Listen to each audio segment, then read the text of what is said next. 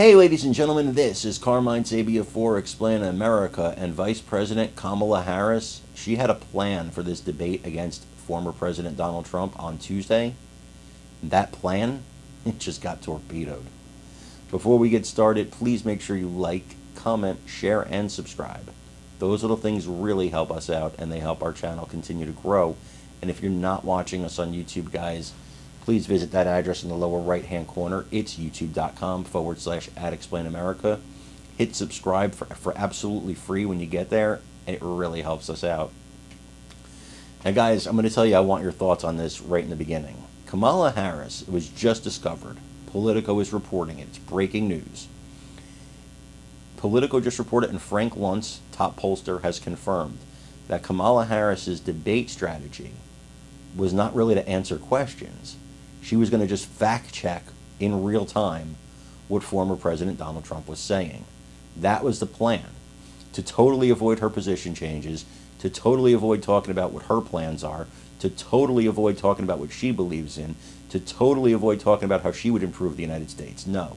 She wanted to prosecute, essentially, former President Donald Trump on stage. This plan has been torpedoed because ABC News has said, no, we're sticking to the original rules. The microphones are going to be muted when your opponent's talking.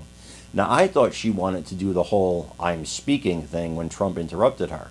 But apparently, no, she wanted to interrupt him with fact checks, which is totally crazy and, and hard to believe, really. That being said, Chris Cillizza, who used to work for CNN, and this guy is a top political analyst, a top political mind, he said that Kamala Harris is nervous about debating Trump and that she should be because Trump has much more experience and Harris is not a great debater. So, all this really sets the stage for Trump to maybe deliver a knockout blow like he delivered against Joe Biden, the President of the United States, in their debate. So again, I want to know your thoughts on this, guys. So I want you to watch this video from Chris Cillizza, and then let me know what you think in the comments. Uh, Tara Reade, not that Tara Reid. How do you think Kamala will fare in the debate? My guess is we'll be here next week talking about Kamala fumbling the debate. Mm, I don't know, is the answer. Look, she's not been on this big a stage before, which honestly very few people have. Though I think it's important to note, I, I talked about this on TV, humble brag, recently.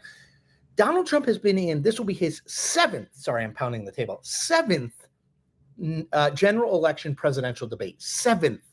That's more than anyone in history. So I think there is a level of kind of uh, comfort there for him. And, and she's never been in a presidential debate before. She's been in a vice presidential debate, but never a presidential debate. Um, so I do think she is going to probably be a little bit more nervous. Uh, I think she has more riding on it. I don't think Trump's numbers. Look, I've said this before. Trump has a very high ceiling in terms of voter support, like 45%, and a very, excuse me, a very high floor in terms of voter support and a very low ceiling. He basically moves between 46 and 48% of the vote. He doesn't go to 52 or 51. He doesn't go to 40. So I don't know how his numbers move. I think she has potentially more movement there. I don't think she'll fumble it though.